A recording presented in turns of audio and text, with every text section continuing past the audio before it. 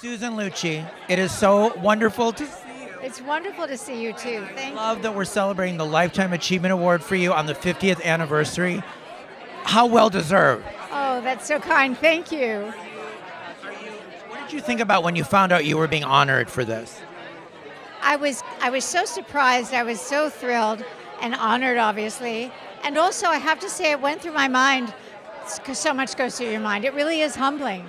And I thought, really, have I have I achieved enough in my lifetime to warrant getting the Lifetime Achievement Award? Do you know, it goes through your mind. You had the most iconic moment in Emmy history.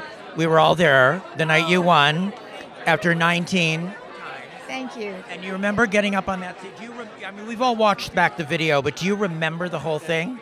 I really do. Yeah, I will never forget that whole that whole scenario.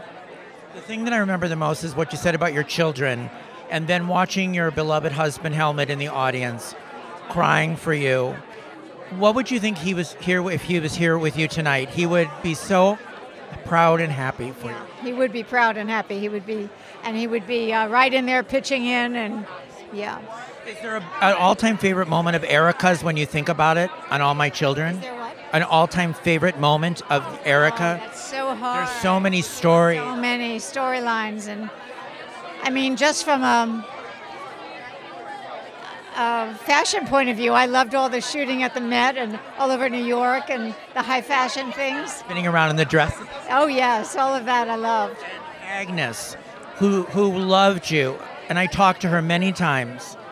She said I was so lucky when I found Susan.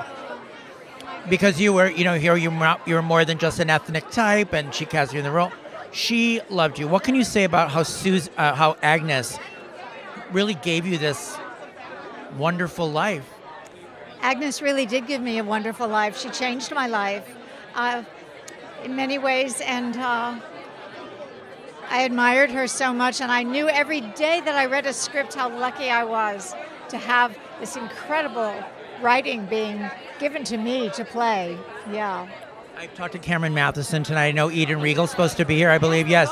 And there, they were nothing but, you know, the greatest joy of my life was working with Susan. Oh, well, back at them. Yeah, absolutely. I am so happy for you, and it's so great to see you. I could talk to you for an hour, but I know you have to go down the carpet.